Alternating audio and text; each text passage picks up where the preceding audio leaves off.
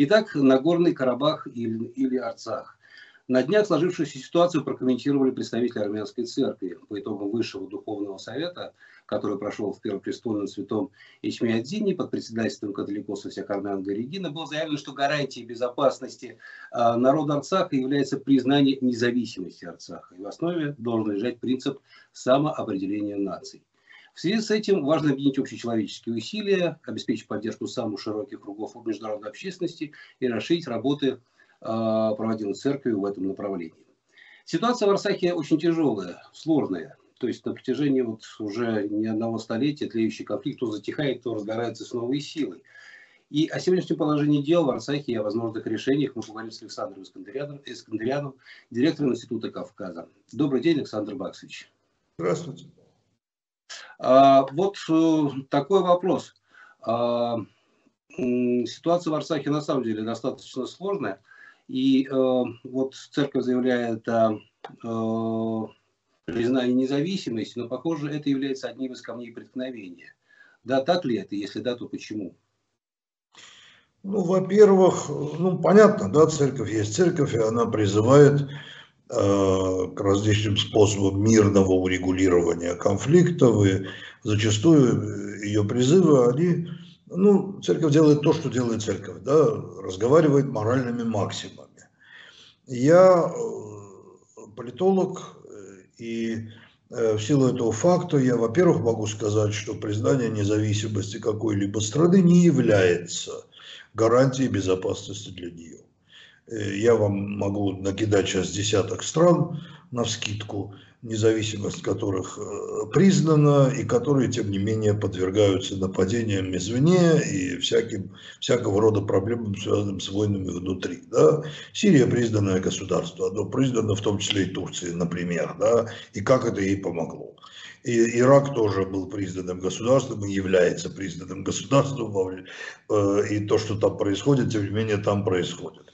Кувейт был признанным государством, ну и так далее. Можно до бесконечности перечислять всякие случаи, когда э, государство признано, но тем не менее оно подвергается различного рода опасностям, нападениям со стороны э, государств соседних. Очевидно, то, что имеется в виду такого рода риторикой, это не то, что э, э, Нагорно-Карабахскую республику, что э, должны признать там Уругвай или, или Парагвай, да, а что его должен признать Азербайджан. То есть речь идет о том, чтобы Азербайджан согласился с тем, что эта территория, территория Арцаха, не является территорией азербайджанского государства. Ну, если чисто теоретически попробовать это представить, то тогда можно, можно действительно подумать, что э, как минимум степень опасности резко уменьшится, ибо Азербайджан на эту территорию претендовать Э, больше не будет, ибо он признал, что это не его территория. Только представить такое мне чрезвычайно сложно.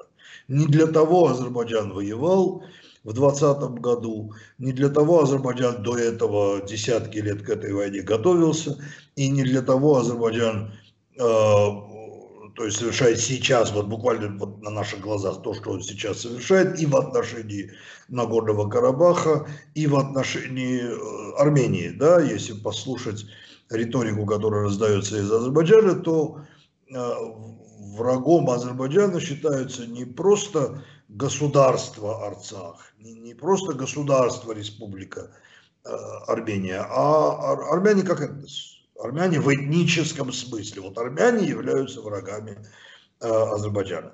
В этом варианте, как моральная максима, да, но если бы Азербайджан это признал, то это было бы каким-то серьезным шагом к э, миру в регионе. Только мне кажется, что э, сейчас это, к сожалению, может быть только моральной максимой, а в политическом смысле Азербайджан продолжает добиваться того, чего он э, реально хочет, того, чего, к чему он стремится, что было причиной войны 2020 года и в этом смысле осталось незавершенным для Азербайджана. Да, Азербайджан одержал победу, конечно, это нельзя отрицать, но он ее одержал не полностью. Своей цели полностью он не достиг. Целью это является отнюдь не признание э, Арцаха э, независимым государством, а Арцах без армян.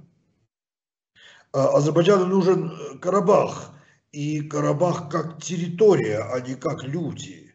И в этом смысле э, я боюсь, что мы очень далеко от такого рода способа разрешения этого конфликта.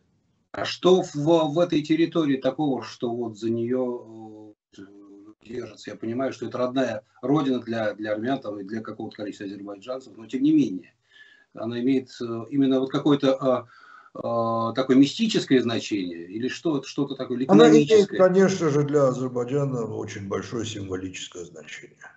А Азербайджан, это тоже, это надо понимать, надо, это одна из методик, при помощи которого ты э, должен понимать ситуацию.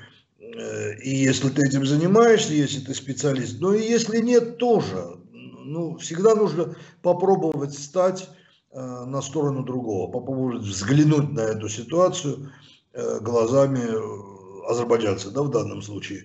А, это нация, которая потерпела поражение в войне 91-94 года, и 26 лет она чувствовала, нация чувствовала себя фрустрированной, чувствовала себя э, потерявшей ту территорию, которую она считала своей, и считала она ее э, своей, ну вот, до такой степени, что все эти 26 лет на этом строили, на реваншизме, на возвращении на этой земли, да, на том, что там находятся какие-то огромные ценности для национальные, да, а, Проблема беженцев, которая действительно существовала и существует, то есть люди, которые жили в тех местах, где шла война и оказались э, на территории, вот на той территории Азербайджана, Э, которая контролировалась тогда Азербайджаном. Да? Вот сейчас э, по-прежнему азербайджанцы же не могут на ту территорию перемещаться, которая оккупирована в результате э, войны 20 года. Но, во всяком случае, сейчас есть ощущение, что вот одержана, одержана победа. И это ощущение национальной гордости. Э, это ощущение того, что вот удалось в войне победить. Это ощущение консолидации, это символ в конце концов. И это важно для азербайджанцев. Я насчет э, экономической составляющей, я не знаю, сложно мне судить, я не экономист, но мне не кажется, что Карабах это такая чрезвычайно важная для Азербайджана, что там ну, не, не содержится никаких там особо Э, ценностей огромных, да, которые Азербайджан хочет приобрести. Но для Азербайджана современного это важно. И кроме того, второе, что я скажу, постараюсь э, коротко, да, это то, что на протяжении всех этих 26 лет до, до войны э, это все раскручивалось в средствах массовой информации, раскручивалось государством, строилось на этом Э, воспитания молодых людей, начиная буквально с детского сада. Это, это не метафора, это, это вот действительно так происходило. Да?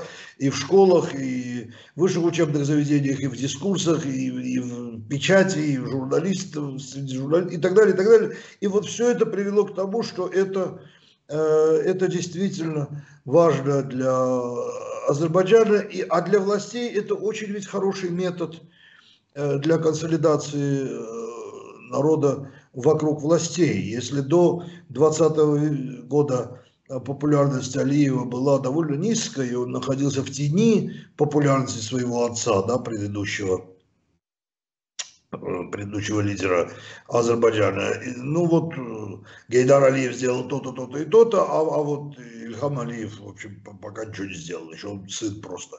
То теперь, наоборот, он победил в войне, он смог это все организовать, он так все мобилизовал, он так все хорошо устроил. И это как бы инструментально это работает на укрепление власти. И все это вместе работает на то, что карабахская проблема, она занимает чрезвычайно важное место, ну, как минимум, в риторике в современном Азербайджане. Скажите просто, а со стороны Армении, ведь Армения, насколько я знаю, так и не признала э, Арцах собственно говоря, так и остался непризнанным государством. Со стороны Армении почему такое вот э, движение? С той стороны понятно. Видимо, такое же чисто символическое значение имеет и для Армении э, данная, данная территория. Конечно, Карабах, Арцах имеет для Армении огромное символическое значение. Это э, Арцах же был краеугольным камнем строительства армянской государственности, начиная с конца 80-х годов. То есть вот э, в Армении там Карабахский комитет, это был комитет Карабаха, это была та структура, из которой рождалась армянская элита. Армия в Армении появилась раньше государства. Государства еще не было, а всякие отряды, из которых формировалась армия, уже появлялись. Карабахская идея была ну, таким фундаментом армянской государственности. Для Армении это тоже Э, имеет огромное значение. Кроме того, ну, те люди, которые живут в Карабахе, они э, не граждане Армении, а граждане Арцаха, э, но это ведь формальная вещь, да, а реально армянское общество ощущает их частью себя. Это такие же армяне, которые говорят на том же языке, там, исповедуют ту же религию, там, носят те же имена и фамилии и так далее. И опасность для них – это опасность для нас тоже. Нападение на Карабах есть нападение на нас. На нас в широком смысле, на нас, армян. Да?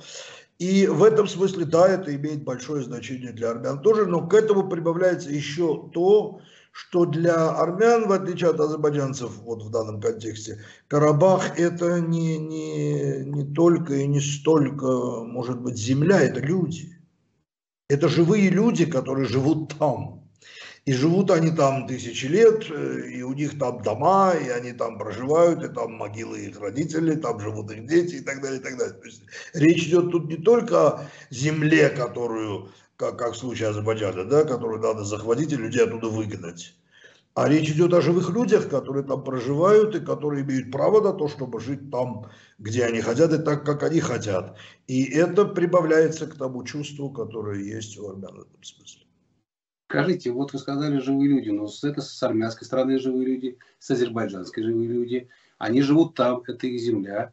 А, родная, как бы. И почему они не могут между собой договориться? Может быть, дайте им возможность договориться между собой? Не получается, чтобы ну, не встревали внешние силы, а вот как-то, может быть, э, самоопределение вот этих людей и позволить им это сделать? Может быть, это решение конфликта? Почему не происходит вот этого движения? Или это ну, амбиции какие-то большие политические? Да, вы меня спросили, я забыл э, ответить по поводу, а это связано по поводу того, почему э, Республика Армения не признала Арцах э, восполнил, да, так сказать, видите. Э, с самого начала идея была в том, что мы ведем переговоры. Идет Минский процесс ОБСЕ, идут, идет переговорный процесс, и уступкой со стороны Армении является не признание сразу НКР, потому что если ты признаешь ее сразу, то о чем переговоры вести? Да? конечной точкой, а не начальной точкой переговорного процесса должна была стать, должен был стать статус Карабаха. Это так было, так шел этот процесс, к чему он привел, мы видели, в конечном итоге ничего не получилось, процесс был сорван, и процесс был сорван э, именно в нарушении одного из принципов Минского процесса. Их было три. Принцип нерушимости границ, принцип самоопределения нации и принцип мирного решения конфликта. Ну вот, Э, в той части, в которой Азербайджану для себя удалось его, так сказать, решить, э, это не мирный способ решения конфликта. Сейчас, опять же, если сейчас, э, очевидно, так, так решено, так считают элиты да, Республики Армения, принятие, признание Республики Арцах в состав, Азербайджана, в состав Армении будет являться агрессией Э, на территорию, которую Азербайджан считает э, своей территорией. Соответственно, существуют две проблемы. Э, опять же, в риторике нынешних властей. Первая проблема – это взаимоотношения Республики Армении и Азербайджана.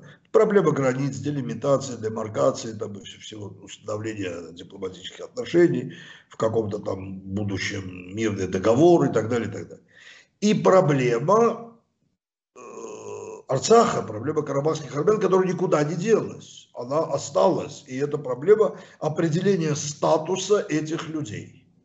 Статуса в том смысле, что эти люди должны продолжать жить на этой территории безопасно так, чтобы это их э, устраивало. Этот процесс, ну я бы не сказал, что очень оптимистично можно к нему относиться, но во всяком случае идеология этого процесса такова. Но все-таки вы сказали про элиты, а вопрос у меня все-таки прозвучал, почему люди, живые армяне, азербайджанцы, они же могут, у Шалома Алейхмова, насколько я помню, был ТВ «Молочник» такая пьеса, где в одной деревне жили э, русские, там, евреи и все остальные. Потом что случилось, да, и прогнали. Да? Почему? Почему вдруг происходит? Почему люди, которые живут вместе, всегда нормально жили, почему они не могут сейчас договориться, вы, как сказать, и э, определить свой статус и сказать, что вот мы будем такие? Может быть, эта формула работает, нет? Чтобы люди отходят. Я, я помню эту повесть Шалом Алейхема примерно потому же, потому что между ними пролегла кровь, потому что была война, Потому что те люди, которые таким образом жили, они уже давно таким образом не живут. А, потому что э, тут, в отличие от ТВ Молочника, где это были люди действительно, да, люди, может быть, иногда не самые хорошие, да, но это были люди. А, а тут есть уже и государство. Тут же речь идет не о том, чтобы дядя Ахмед с дядей Самвелом договорились. Дядя Ахмед с дядей Самвелом в какой-нибудь Москве, в каком-нибудь Тбилиси или в каком-нибудь Нью-Йорке вполне могут как-нибудь договориться. По крайней мере, иногда они договариваются. Да? А вот тут речь идет не о дяде и тете, а о государственных образованиях. И армянское государство не, э, не Э, оно существует вот там, где оно существует, армянское государство, я имею в виду Арцах, да, непризнанное армянское государство. А азербайджанское государство существует там, где оно существует. И право друг друга владеть собой они не признают. То есть азербайджанское государство сейчас говорит, фактически говорит, что субъекта такого не существует. Люди, наверное, есть говорят они. Причем всегда это даже звучит немножко забавно, потому что есть такой феномен, что азербайджанцы все время в своей риторике пытаются преуменьшить количество армян на территории Арцаха. Они говорят, их там не 120 тысяч, а 100 тысяч, 50 тысяч, 30 тысяч. Я казалось бы, да какая разница, там 3 тысячи их или 200. Но вот попытка преуменьшить, попытка снивелировать, попытка показать, что этих людей нет – то, что говорит зачастую президент Алиев, э, очень часто звучит, как карабахская проблема не существует. И Карабаха не существует. В последнее время э, в азербайджанской риторике они стали, причем под азербайджанской риторикой я же имею в виду не журналистов или там членов гражданского общества или еще каких-нибудь там вот частных людей, а государства. Они в последнее время теперь слово «нагорный» почему-то нельзя произносить если ты по-русски разговариваешь, надо говорить только Карабах, без слова Нагорный, потому что оно русское, ну и так далее. То есть это все э, непризнание людей, которые там живут, на право субъектность вообще, как бы этих людей не существует. Это мы очень видим по тем территориям, которые были захвачены в результате войны. Если предположить, что Азербайджан хочет, как тоже иногда говорится, чтобы граждане Азербайджана армянской национальности имеются в виду люди, которые живут в Арцахе. Да, никакими гражданами Азербайджана они себя не считают, ну, неважно, такая риторика. Если они не совершали преступления, тоже не очень понятно, что это такое, да, то они могут жить на территории Азербайджана и обладать всеми теми правами, которыми обладает обычный азербайджанец. У меня вопрос, где тогда те 38 тысяч людей, которые жили на тех территориях, которые были захвачены Азербайджаном. На юге Карабаха, в Гадруте, там, в Лачине и так далее. Вот на тех землях, которые оказались захвачены Азербайджаном. Где эти мирно живущие армянские э, граждане Азербайджана, эти самые женщины, старики, дети и так далее? Их нет. Они или убиты, или изгнаны. Соответственно, вот видя, что вот эта вся риторика означает вот именно это, ну, понятно, что этим людям, которые там живут, не очень хочется э, кончать жизнь коллективным самоубийством. И поэтому договориться не получается. Значит, такой, исходя из этого, исходя из того, что вы сейчас сказали, то есть никакая, никакая миссия ОБСЕ, ни Евросоюз, там даже не Россия, ни что-то, не смогут, ни введение войск, не смогут, насколько я понимаю, решить эту проблему так или иначе. Да? Нет, я так не так... говорю. Нет, нет, я, я просто я предполагаю, что видим такое, потому что если люди не договариваются, как ты их не разделяй, все равно э, вот они должны между собой как-то как научиться разговаривать, наверное, попробовать договориться. Скажите, в связи с этим, а есть ли какая-то, вот на ваш взгляд, такой чисто человеческий, возможность решения данной, данного вопроса? Он существует вообще в принципе? Существует, да, есть такие такого рода конфликты, которые были решены. Это очень непросто. Должен сказать, к сожалению, что подавляющее большинство такого рода конфликтов часто не решается.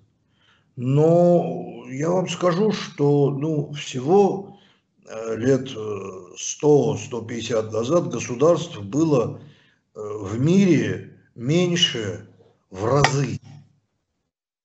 Просто в разы. Ну, например, вся Африка. Во всей Африке было Э, всего лет 70-80 назад два государства, Эфиопия и Либерия. Все остальное было Англией, Францией, Португалией и так далее, то есть колониями. Было время чуть раньше, когда в Латинской Америке не было государства, все это было Испанией и Португалией. Было и так далее. Еще когда мы с вами, судя по всему, родились, э, карта мира была совершенно другой ни Армении, ни Грузии, ни Азербайджана, ни, ни, ни, ни э, Хорватии, ни Сербии и так далее не существовало. Была Югославия, был Советский Союз. Э, и далее. Была Чехословакия, а не Чехословакия. Существовало ГДР. Государства все время образовываются. Государства все время образовываются, и другого способа образоваться государству, кроме как выйти из состава другого государства? Нет, потому что Земля давным-давно вся поделена. Ну, кроме Антарктиды, но в Антарктиде пингвины пока еще своего государства не образовали. Соответственно, государство... Пустыни еще есть. И пустыни, Хотя пустыни тоже принадлежат какому-нибудь государству. Они на карте нарисованы определенным цветом. И государства появляются, они появляются. Э, это очень непростой процесс. Это э, очень тяжелый процесс. Иногда это не получается. Иногда бывают ужасные следствия этого процесса. Но сказать, что люди не могут научиться жить, нельзя. Другое дело, что я не думаю, что это может случиться быстро. И в этом смысле разделение нужно. В этом смысле все эти ОБСЕ, и ЕС, и Россия и так далее, все эти механизмы, которые приводят к тому, что люди решают свои проблемы, вот эти люди, о которых вы говорили, не с э, автоматами Калашникова в руках, а за столом переговоров, пытаясь учитывать интересы друг друга, пытаясь договориться, а не убить друг друга, не признать право друг друга на несуществование, а признать право друг друга на то, чтобы не соглашаться с ними, пытаться найти консенсус, пытаться найти какой-то вариант, то рано или поздно э, можно представлять, что этот конфликт будет э, решен. Но это долгий и тяжелый путь. А приблизительно сколько? Или вот у каждого, так сказать, свое? Ой, время? не спрашивайте. Скажу такое, чему ни вы, ни наш, э, ни наш зритель будет не рад. Э, из современных примеров, ну, я вам скажу, что кашмирская проблема существует с 1948 года. А, Индопакистанский... Индопакистанская, да, по поводу территории. Там проблема Кипра разделенного существует, но если не с 63-го, то 74-го. Проблема Израиля и Палестины существует. Еще Израиля и Палестины не было, они в 1948 году образовался Израиль. А проблема арабо-еврейская уже была. Проблема Западной Сахары и так далее. Эти вещи длятся э, поколениями, эти вещи длятся десятилетиями, э, иногда больше. Это не просто и это может быть долго. Такого рода конфликты очень э, легко не решаются почти нигде и никогда. Ну, будем надеяться, что в какой-то момент тот или иной конфликт все-таки закончится. Спасибо огромное, как бы время у нас закончилось, и я очень вам благодарен, за эту беседу. Со мной как бы разговаривал, был на связи Александр Искандерян, директор института в Кавказе. Благодарю вас, Александр Максович, спасибо большое. Спасибо вам.